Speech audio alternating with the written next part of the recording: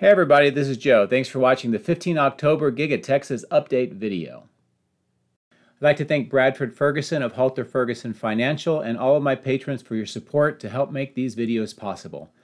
I'd like to begin this video with a correction from my 13 October video. In that video, we saw this truck on the upper left-hand side arrive, and I had incorrectly said that it was concrete blocks that were being delivered. In reality, they were concrete forms that later that day were set up on the foundation mud base to begin that process of rebar and then con concrete construction. And this picture is from Randy at Terafactory, Texas, so check his channel out for more information. There's some thoughts about what could be being built in this pit.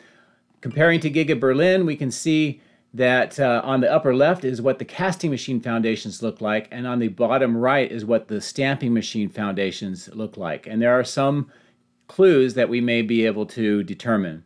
If you look at the upper left-hand corner, you can see Giga Texas. You can see the small pit separated from the larger pit and the two foundations being built.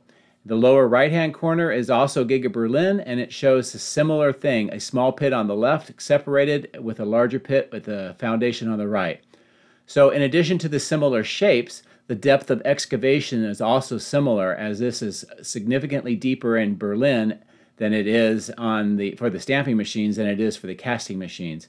So it's possible what we're seeing is just the stamping machines. However, one of the biggest differences between Berlin and Texas is that in Berlin, the casting and stamping machines are separated by a distance. Perhaps at Giga Texas, they're going to put them together in this enlarged pit, and maybe that's a new design. So I don't know. What do you think?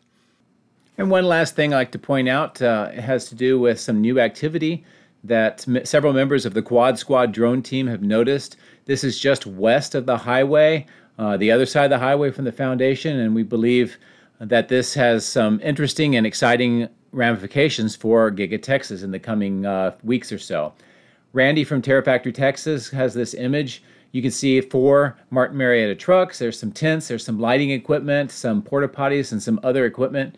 And we learned just very recently that the purpose of this is for the big push to get ready for the big foundation pour. And Martin Marietta is going to be using this area to train truck drivers and so forth so that they all ready for the uh, huge event. So anyway, great news. Let's go ahead and get in the drone. Let's take a flight and see what's going on at Giga Texas today.